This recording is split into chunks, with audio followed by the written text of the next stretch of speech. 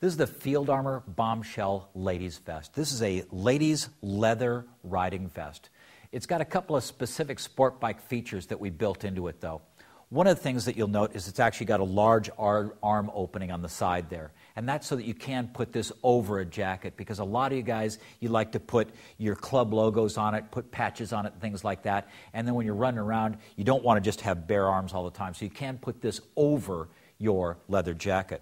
There are some side adjusts on the side. There's uh, zippers in the front, so you have zippered pockets as well. The zipper all the way down the front of the garment also is a YKK zipper. That's the most expensive kind of zipper that we can put in a garment like this, and it's just to help prevent failures. Because if you ever had a zipper failure out on the road, particularly when you're riding around, it's very, very frustrating. The number one thing that we did differently on this vest versus anybody else is what we do on the back. Icon is a protective apparel company. So we don't just make vests, we make armored vests. There is actually a plastic articulating plate that's built into this vest that goes all the way down the back there as a spine protector.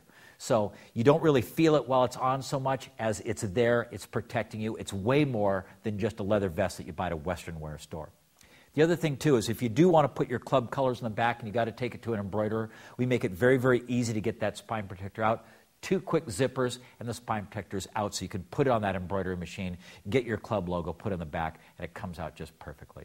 This is the Ladies Bombshell Field Armor Leather Vest.